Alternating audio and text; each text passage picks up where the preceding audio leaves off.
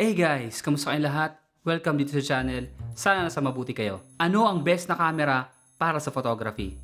Kung ano yung meron ka ngayon dyan, yan na yun. Gamitin mo yan, i-explore mo yan, hasain mo yung talent mo sa pamamagitan na kung ano yung meron ka. Pero kung wala ka pang camera at ngayon ka palang nag-decide na magpo-photo ka, matutulungan kita dyan. Panoorin mo lang tong video na to, sigurado ako sa'yo na matutulungan kita. Okay? Just trust me, guys. Okay? You have to trust me. Walang specific na brand para sa kung ano man yung iniisip mo na best na camera. Wala. Okay? Kahit anong mapili mong camera ngayon, malulupit lahat yan. Canon, Sony, Nikon, lahat yan mababangis. So, paano ka pipili ngayon? Kung ako tatanungin mo, Canon ako syempre.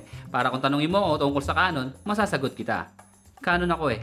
Ha! Ang importante dito guys, syempre, huwag kang bibili ng mamahalin agad. Doon ka muna sa low budget. Kung merong second hand, try mo muna yung second hand, no? Low budget lang muna. Tapos as long as it has uh, at least 18 to 24 megapixel, okay na yun doon. Okay? Ayos na yun. Basta ako, para sa akin maganda yung kulay ng Canon. So, yun. Doon ako. So, yun. Natulungan na kita mag-decide. Okay na, uwian na tayo. Tapos na yung vlog.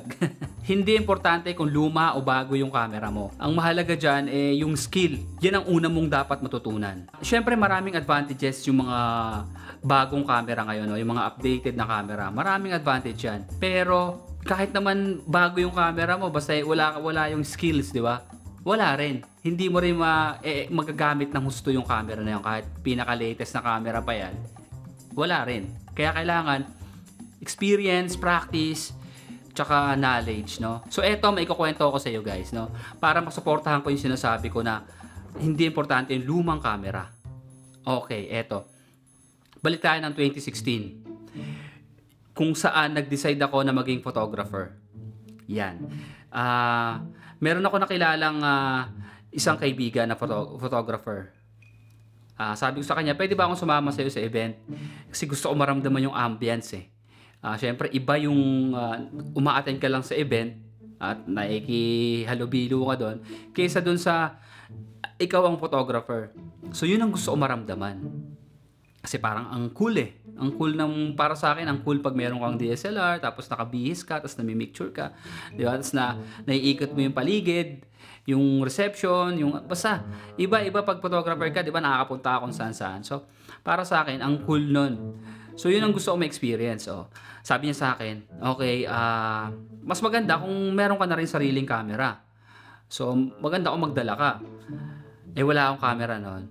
So, eto na, kailangan ko mag-provide. Wala akong idea, guys, kung ano bang camera ang bibiling ko. Wala, wala, wala talaga. So, basta naghanap lang ako online. So, syempre, wala akong budget. So, cheapest ang kinuha ko. Meron ako nakuha, Canon EOS 100, ah, hindi, Canon EOS 10D. Yan, Canon EOS 10D, guys. Uh, linabas siya ng 20, uh, linabas siya ng 2003. So 2003, 2016 na nung time na yon So napag-iwanan na. Uh, tapos meron siyang 6.3 megapixel lang.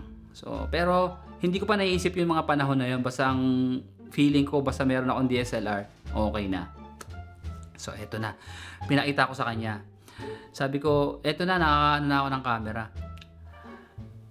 Ang reaction niya guys, uh, hindi ko in-expect. Natawa siya. Tapos para ako nanliit. Tapos, ang sabi niya sa akin, hindi kita pwedeng isama pag yan yung camera mo. Hindi, ganito pa nga pagkakasabi niya. Pag yan yung dadali mong camera, hindi kita isasama.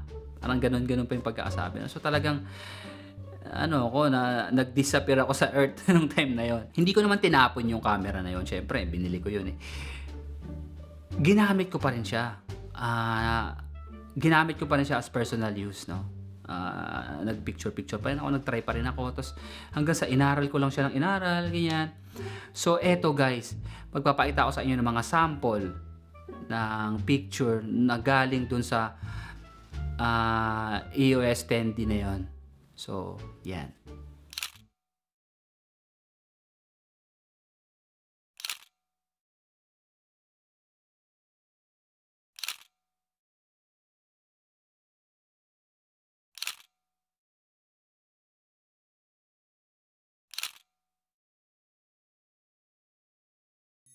I was blown away guys sa resulta. Antindi, di ba? So wala sa luma man yan o sa bagong camera yung magiging resulta ng photo mo. Nasa skills yan guys. Believe me. So, yun. Skills na dapat mong tandaan, no? Merong tatlo. Tatlo, bigyan ko kayo ng tatlo para may assignment kayo, no? Kung sakasakali man na mag-decide na kayo at ah, yung shutter, yung aperture, at saka ISO. I-master mo yung tatlo na yan.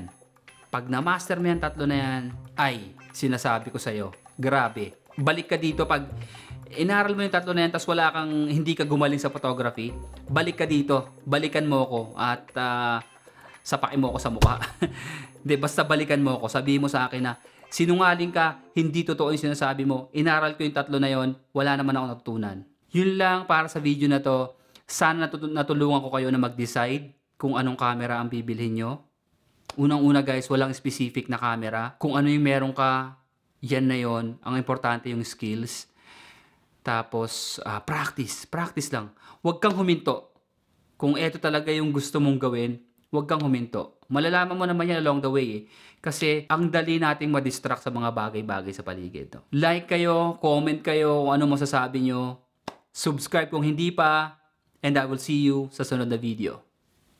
Bye. Tumba. Huwag ganun. Nag-iisa ka lang eh. Saka ka na matumba pag marami na tayong pera, no? pag naging successful na tayo dito sa YouTube. Ikaw muna mababasag eh. Tagal-tagal ko ng camera to.